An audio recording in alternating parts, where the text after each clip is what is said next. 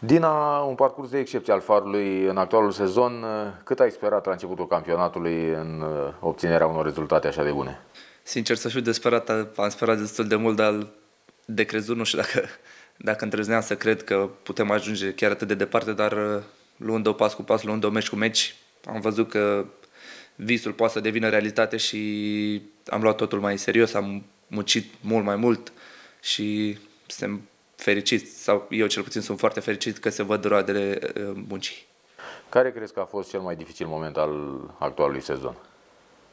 Pentru mine, sincer, eu zic că meciul cu FCSB de la București, în returul sezonului regulat, veneam după câteva meciuri fără rezultate foarte bune, înfrângerea de la Hermașa de Galo cu voluntari, înfrângerea cu CFR acasă și m-a și scos mister când era 2-1 pentru cei de la FCSB și stăteam pe bancă și mă gândeam că sezonul poate să ia o întorsătură nefavorabilă, doar că am reușit să revenim un meci de poveste și eu zic că ne-a oferit și mult mai multă încredere, să zic așa, și a ieșit bine până la urmă.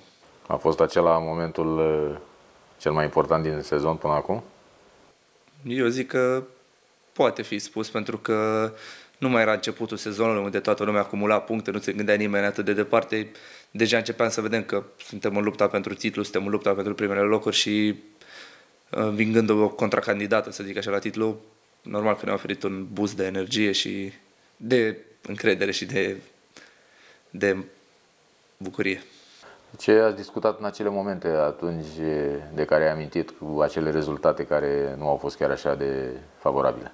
Sincer, discutam și vestiar cu ceilalți colegi pentru că era un moment foarte greu pentru noi și trebuia să revenim, trebuia să arătăm că suntem o echipă foarte bună a campionatului, dacă nu chiar cea mai bună, pentru că o demonstrăm prin jocul pe care prestăm, prin rezultate.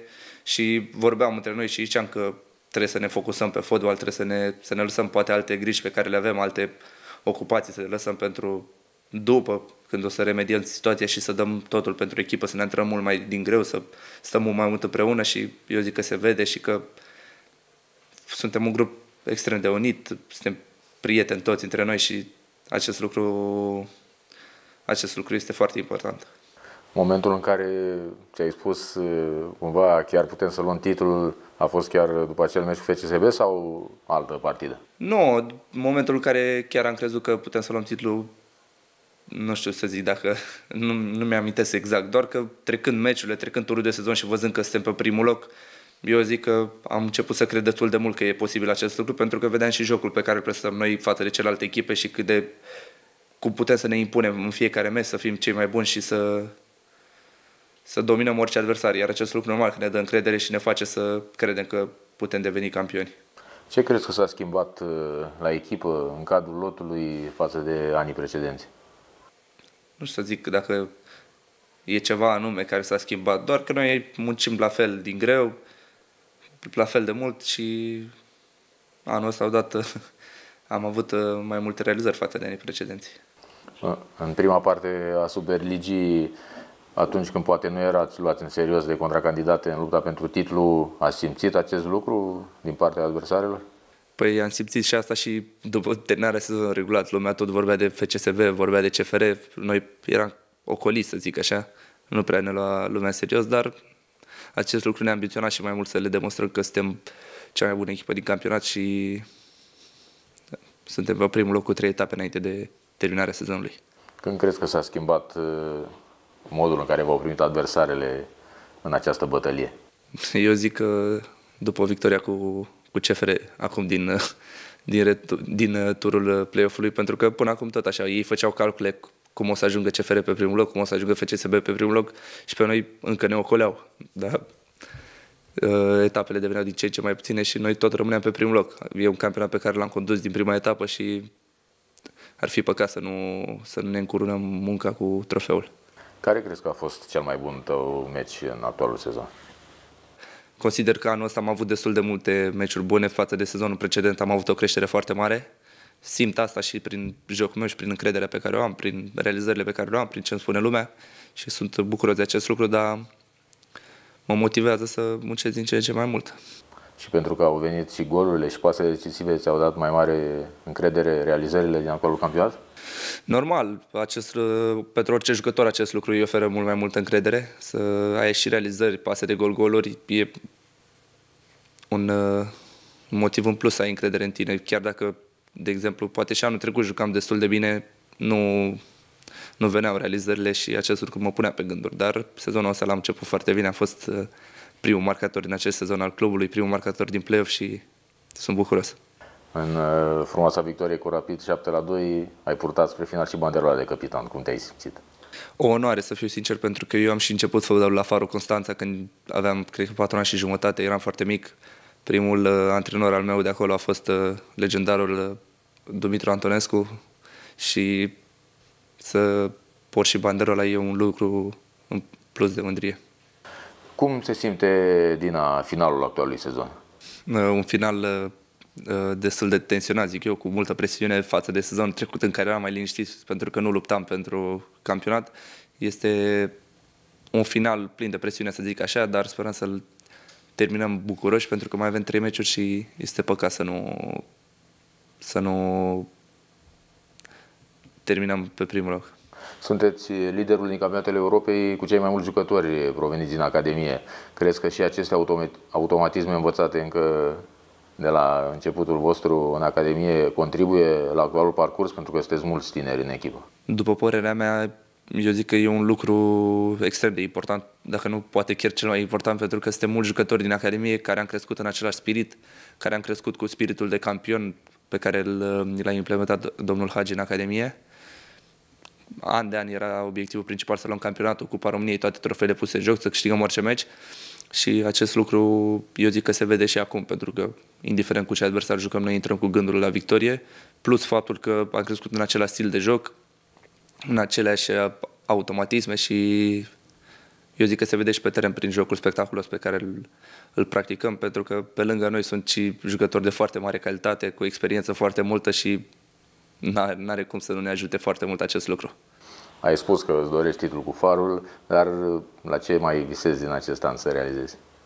Uh, pe lângă titlul cu farul, care este primul obiectiv, uh, am și campionatul european la Naționala de Tineret și eu îmi doresc uh, din tot sufletul să trecem de grupă și să ne să ajungem cât mai departe în turneu, pentru că nu văd ce am avea în minus față de celelalte, cele, celelalte naționale, pentru că cel mai important este să ne, să ne impunem niște obiective mărețe ca să avem pentru ce munci.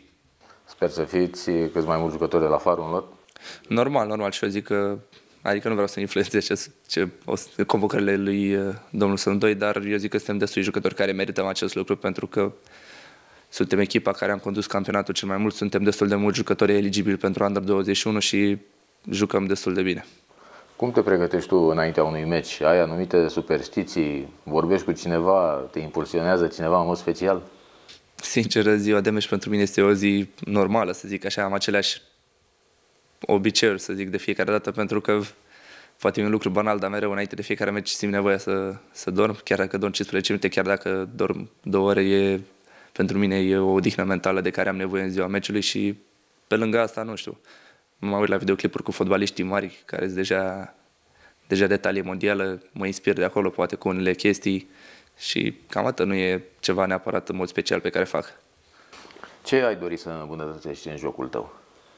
Uh, sincer să fiu, am o grămadă de lucruri pe care doresc să le îmbunătățesc atât pe plan uh, fotbalistic, atât pe plan personal, dar eu zic că o calitate importantă pe care trebuie să o îmbunătățesc este forța să zic așa, merg și lucrez foarte mult pentru asta, merg săptămânal la antrenamente eh, suplimentare pentru acest lucru uh, și pe lângă asta mai sunt uh, o grămadă de alte lucruri pe care, pe care le am în vizor că trebuie să le îmbunătățesc pentru că mereu este loc de mai bine. Visul tău ca fotbalist? Mm, nu știu, pe plan scurt, normal titlu cu farul și pe plan mediu și lung să ajung să am un nume precunoscut poate pe tot uh, globul. Să câștig UEFA Champions League, să câștig trof- marile trofee ale lumii, să ajung la un club uh, extrem de important. Clubul meu favorit este și AC Milan din străinătate și poate o să ajung să joc acolo cândva. Care sunt cele mai importante lucruri pe care le-ai învățat în perioada petrecută la Academie? Care au fost cele mai importante sfaturi primite la domnul Hagi? În primul rând, uh, mentalitatea de campion, care ne este implementată din prima zi în care intrăm în Academie. Meci de meci avem același obiectiv, să luăm cele trei puncte, să câștigăm fiecare meci în parte. Și pe lângă asta, o grămadă de, de lucruri care mi-au format caracterul, să zic așa, pentru că pe lângă uh, lucrurile fotbalistice pe care le învață domnul Hagi, ne și, ne și modelează caracterul într-unul benefic, ne spune mereu să ne plasăm cele mai înalte obiective, pentru că nu avem nimic în minus față de celelalte contracandidate, față de ceilalți oameni și nu știu, acest lucru pentru mine e foarte benefic și am înțeles foarte bine. Cum este din Agramenii în afara terenului? Ce îți place să faci cel mai mult? Sunt o persoană destul de liniștită, să zic așa. Am, uh, mi-am luat și un cățel destul de, destul de recent, acum vreo șase luni, petrec destul de mult timp cu el. Îmi place să stau foarte mult cu prietenii mei în, în locuri restrânse, ori la mine acasă, ori la ei acasă. Uh, să mă joc pe PlayStation, să urmăresc uh, seriale, să ies în oraș să mănânc cu familia. Nu, nu ceva ieșit din comun. Dacă nu ai fi practicat fotbalul, ce ți-ar fi plăcut să faci și în ce domeniu te, te-ai fi văzut? Nu știu, poate în domeniul business, să, să-mi deschid un restaurant, să deschid o cafenea, pentru că îmi place să, să mă ocup de acest lucru și poate pe final de carieră o să încep să fac și asta. Până acum ai păstrat vreo amintire specială de la vreun meci anume? Uh, da, normal, tricoul de debut în care am debutat l-am, nici n-am apucat să-l spăl, l-am rămat direct, tricoul în care am marcat primul gol cu Clinceni, tot așa l-am rămat, e murdar și sper și de la meciul, cu, meciul care o să luăm titlul să-mi păstrez o amintire.